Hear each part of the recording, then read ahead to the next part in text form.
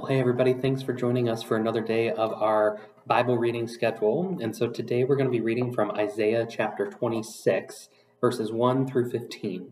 And so make sure that you get your Bible, turn to Isaiah 26, um, and make sure you have a journal and a pen or pencil to write down some notes. And remember, this week, if you tell me, if you come to weekend services and you tell me what color my journal is, we have a special prize for you. So Make sure that you come and tell us that this weekend if you're at our weekend services. But without further ado, let's go ahead and get um, Isaiah 26 started for today's reading.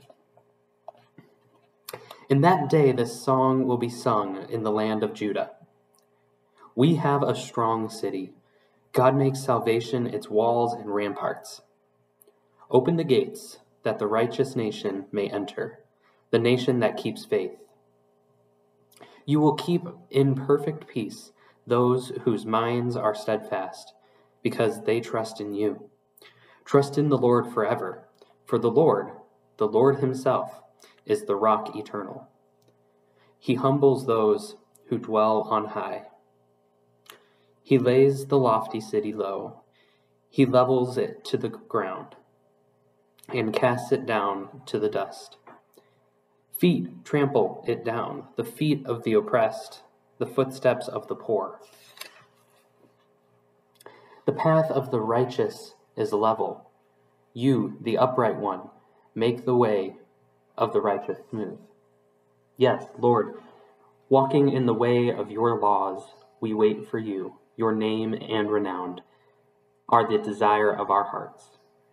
My soul yearns for you in the night. In the morning, my spirit longs for you. When your judgments come upon the earth, the people of the world learn righteousness. But when grace uh, is shown to the wicked, they do not learn righteousness.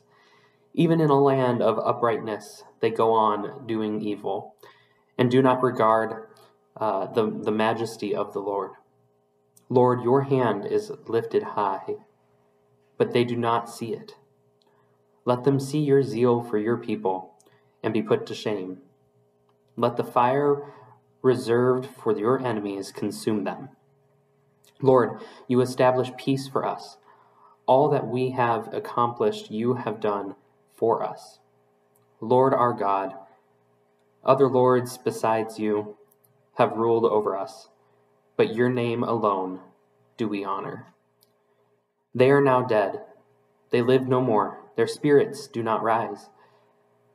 You punished them and brought them to ruin. You wiped out all memory of them.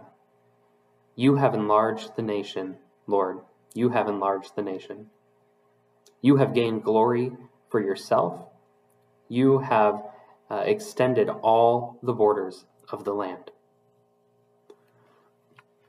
Well, that was a great song that Israel uh, is singing to uh, the Lord. And so, write down some notes in your journal. Uh, and if you want to talk with somebody, you can come back and talk with one of your leaders or or with uh, your parents or an adult. Uh, and we look forward to reading more of Isaiah with you tomorrow. Have a great one, guys.